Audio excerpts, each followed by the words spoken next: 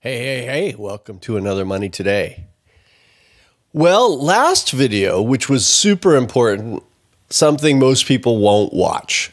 I doubt we're going to get up to a thousand views of that video, which is, you know, mind blowing, but it's not a coin you can buy, so therefore it's not a big deal to most people. Well, this is going to be another one of those videos that there's going to be some of you that watch this video and you're going to learn something that is going to become very important later, but most people won't. So, congratulations.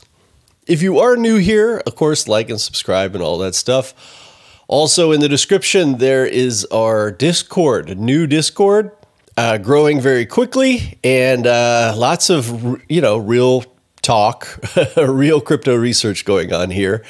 And uh, I just posted something that we're going to talk about today. Many times on this channel, I have recommended that you go to the Global Blockchain Business Council and sign up for their newsletter because this is basically the blockchain section for the World Economic Forum.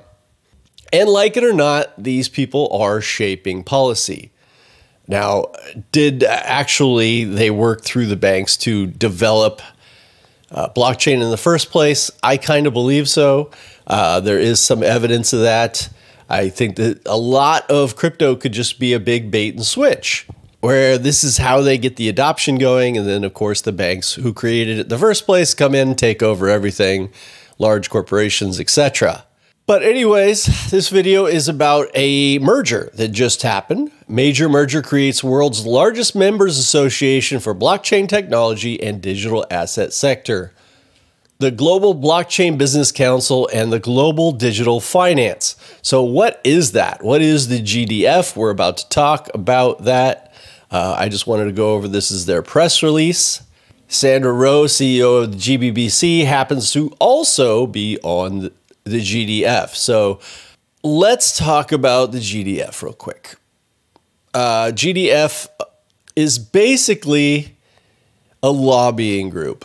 And it's a huge lobbying group with people from all over the world when it comes to uh, lobbying for governments. And there you see Sandra Ro here. But I wanted to point out a couple of people. Jeff Bandman, who is a co founder right?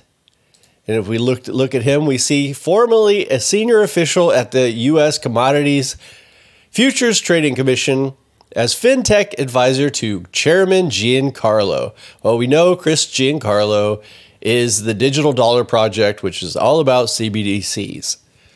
So we have lobbying, we have former CFTC members running through so much of this space. And then we can just go through. I mean, we pick somebody like Dina Ellis, right?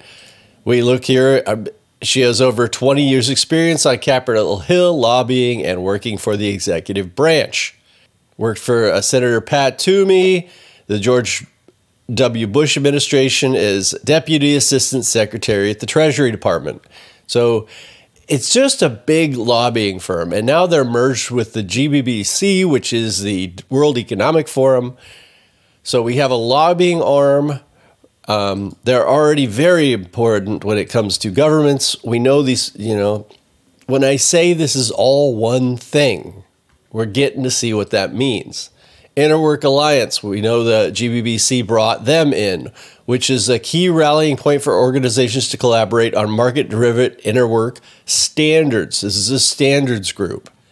So they're creating the standards, they're lobbying the governments it's a very, very important thing to keep your eye on.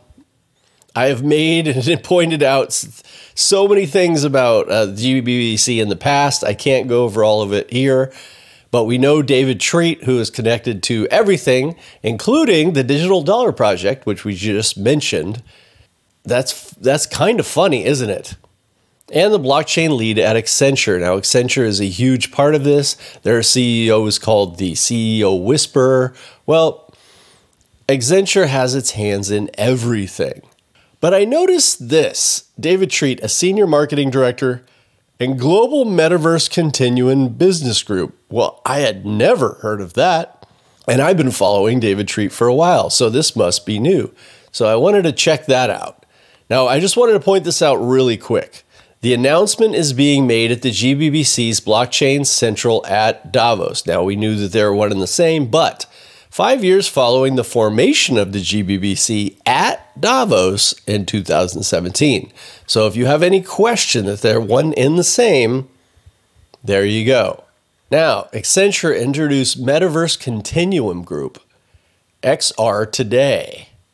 So, this is somewhat new Accenture has reportedly, which they have, developed a metaverse continuum, hosting numerous virtual worlds and experience to reshape how people work and interact, the company announced this week. You can look up Accenture if you want. These this is an absolutely enormous company that has so much responsibility for what companies do around the world.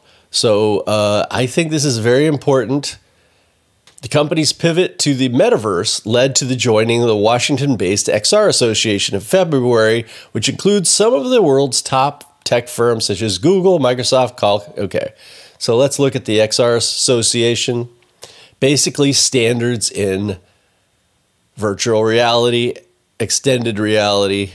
They may say it in some other words to promote responsible development and thoughtful advancement of the XR that fosters positive societal outcomes. Yeah, basically say we're going to make the standards and you got to do what we say.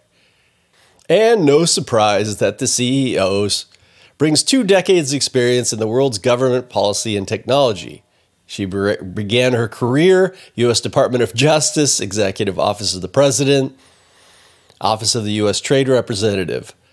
So not a huge surprise there and the board members here Accenture, Google, Meta, Microsoft, Qualcomm. You know, the Linux Foundation, we've talked about this many times, so we can go right back to the InterWork Alliance. So, again, not the sexiest thing to talk about, but it's something you put in the back of your head and you realize when you hear about one, you're hearing about the other. This is all one thing. This is the World Economic Forum basically steering the way that blockchain works. And if we go back to the GDF, well, who's on their advisory council and patron board? Well, of course, we see Coinbase, DLA Piper. Remember, this is from HBAR, EY, which is ConsenSys Ethereum. We see R3, which is the banks, SDX, which is also built on R3, so the banks, London Stock Exchange Group, and this bears out when you look at the advisory council, right? You see the same names, but then you see ConsenSys. Sorry. Filecoin Foundation. So, again, it's all one thing here. And uh, I'm just pointing that out to you so that you realize this when you're delving further into crypto space. This is going to come up over and over and over. So, I, I hope you learned something. I appreciate you. Love y'all. See you in the next one.